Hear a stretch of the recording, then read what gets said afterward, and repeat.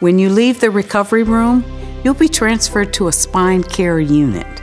Your spine nurse and nursing assistant will greet you there. Their job is to help manage your pain and other parts of your care as you begin your recovery. Pain is a part of the normal healing process after surgery. Our goal is to make you comfortable enough to do the things needed for recovery, such as eating, drinking, sleeping, and moving. To assess your level of pain, we'll ask you to judge it based on a 0 to 10 pain scale. 0 is no pain, and 10 is the worst pain that you can imagine. Let's see if we can reposition you a little bit. Is it kind of in your lower back, upper back? Your nurse will talk to you about your personal pain goal and pain plan.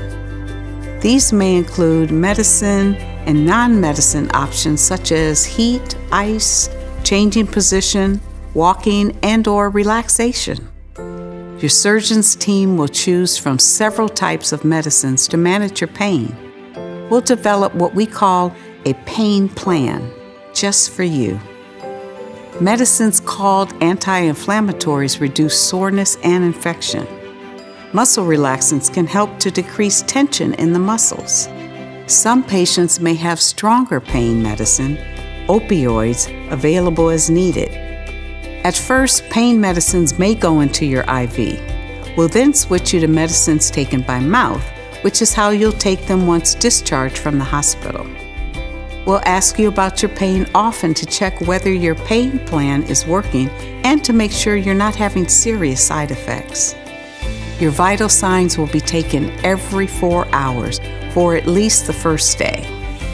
You also may have regular blood tests.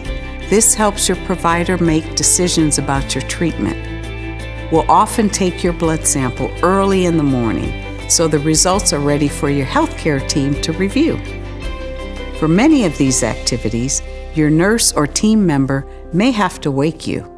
We understand sleep is very important, but your safety is our priority. We need to monitor you closely for the first several hours after surgery to be sure you're recovering as expected. Each day at 7 a.m. and 7 p.m., your nurses will give a report at your bedside to make sure you're kept up to date on your plan of care. After spine surgery, you're at risk for blood clots forming in your legs. In addition to getting up and moving, you may be given medicines to thin your blood. You'll also wear sleeves that are wrapped around your legs. They'll help pump blood from your legs back to your heart. Early in your recovery, we'll start you on a clear liquid diet like water, juice, or broth to prevent an upset stomach. Soon, you'll be placed on a more regular diet that'll include foods that are high in fiber. A high fiber diet will help prevent constipation. Constipation is common after surgery and especially when taking pain medicine. If you're uncomfortable, please let your care team know. We usually prescribe a stool softener and laxatives to help, but there are other options available if needed. After surgery, your healthcare team may include a physical therapist, also known as a PT, and an occupational therapist, also known as OT. It's likely you'll be seen by a therapist on the day following your surgery. The OT will work with you on daily tasks like dressing, bathing, and shower safety. They may recommend and show you how to use equipment to make these tasks easier and safer. The physical therapist or nurse will show you how to move in the bed, sit up, stand, and walk without disturbing the surgery site. Some patients need a walker or other device following surgery to move safely. Walking often is a very important part of your recovery. Our goal is for you to get out of bed within four hours of surgery. Your nurse or therapist will tell you when it's safe and will help you until you're ready to get up on your own. We encourage you to walk several times a day with help. Walking helps prevent blood clots, reduce constipation, and get you home faster.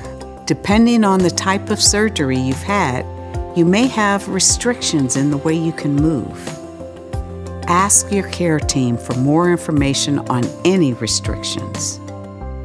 As your body gets stronger, you'll be taught more advanced skills such as getting in and out of a car or climbing stairs. This will help you get ready to go home. Every couple hours, they have you sitting up. Eventually, you stand up, and then they guide you around the room, walking a few steps at a time.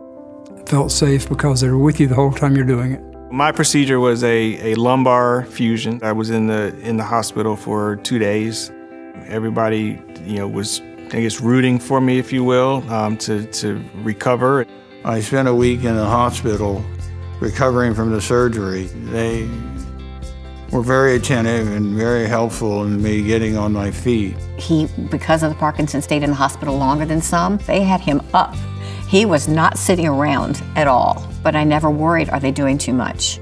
Because I watched him get stronger and stronger every day. My best advice for when you're in the hospital, don't rush it. Listen to them. Take your pain meds. Don't let the pain get out of control. The nurses are excellent. Your comfort and safety are very important to us.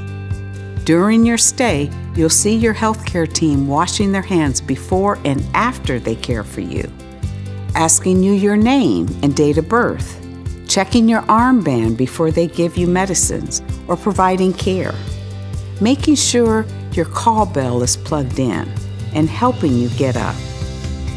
Please remember to ask for help anytime you want to either go to the bathroom, the sink, or out into the hallway for a walk. We ask that you call, don't fall. While we appreciate visitors wanting to help you, be sure you have permission from your care team. For your safety, we encourage you to let us know if we miss a quality step. We're partners in your recovery. Please ask questions and be involved because your voice matters.